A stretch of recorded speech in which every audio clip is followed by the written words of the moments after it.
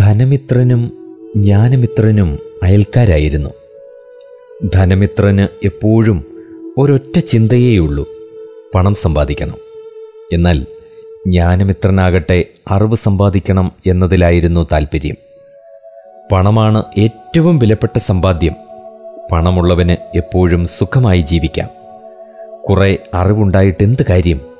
ധനമിത്രൻ എപ്പോഴും ഇങ്ങനെ പറയാറുണ്ട്. അങ്ങനെയിരിക്കെ ആ രാജ്യത്ത് കടുത്ത വരൾച്ചയുണ്ടായി. ജനങ്ങൾ അയൽ രാജ്യത്തേക്ക് പോകാൻ തുടങ്ങി. ധനമിത്രൻ ഒരു സഞ്ചിയിൽ നാണയങ്ങൾ നിറച്ച് അയൽ രാജ്യത്തേക്ക് പുറപ്പെട്ടു. പക്ഷേ വഴിയിൽ വെച്ച് കുറേ കള്ളന്മാർ ധനമിത്രന്റെ പണസഞ്ചി തട്ടിയെടുത്ത് കടന്നു കളഞ്ഞു എല്ലാം നഷ്ടപ്പെട്ട ധനമിത്രൻ സങ്കടത്തോടെ അയൽ രാജ്യത്തെത്തി.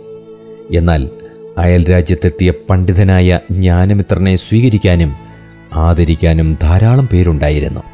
അവരിൽ പലരും അദ്ദേഹത്തിന്റെ ശിഷ്യന്മാരായിരുന്നു.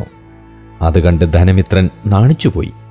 പണത്തേക്കാൾ വിലയുള്ള സമ്പാദ്യമാണ് അറിവ് എന്ന് ആ ധനമിത്രന് അന്ന് മനസ്സിലായി.